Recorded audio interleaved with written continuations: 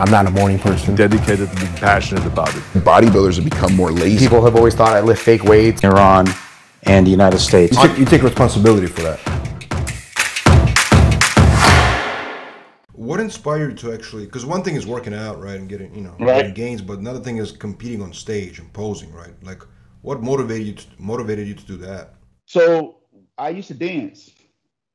So dancing was just fun, right? We used to dance like I was in a dance group, a dance crew, and um, for me, it was. It's just it's not like I said, bodybuilding for me is not that hard. It's not. I think a lot of people try to make it.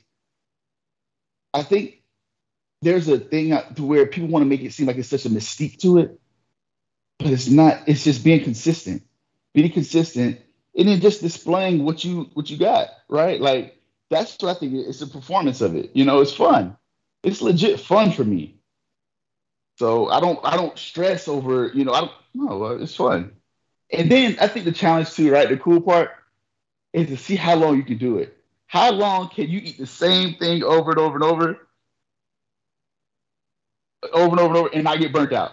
Like how long can you how, how long can you do it? Well, speaking of eating, I wanted to actually ask you about eating because so you get away with three uh, sleeping three hours a day, right? Which is which is phenomenal, right? A lot of people, Right. are gonna, a lot of people are gonna believe that, but okay, you sleep. That's fine, and that's fine. That- it- it- it- look, the thing is, I don't need a lot of people to believe it. I just need people to to, to know that that's what it is. I, I and I wish I could get more sleep. I want more sleep, but at the end of the day, if I get more sleep, I won't be able to do anything else.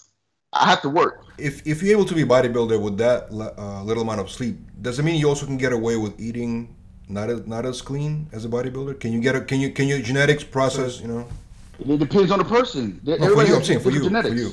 For me, no, no, no, no, no. So you don't. I don't. I don't. I don't cheat on my diet. Like I don't cheat because I feel like if I cheat and I lose, then I'm gonna go back to that day I cheated.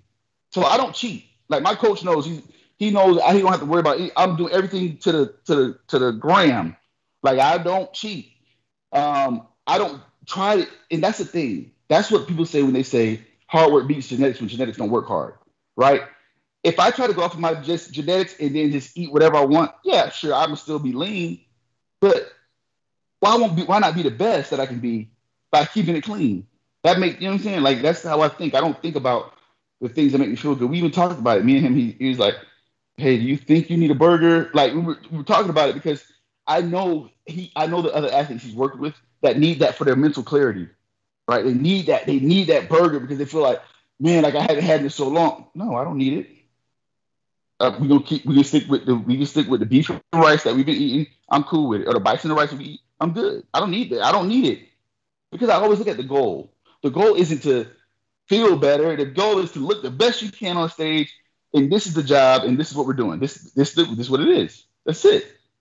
Right? I saw a cool video of you actually um, on Mhm. YouTube when you went to uh, Starbucks and then you went to In Right. Burger and, and I hate In and Out.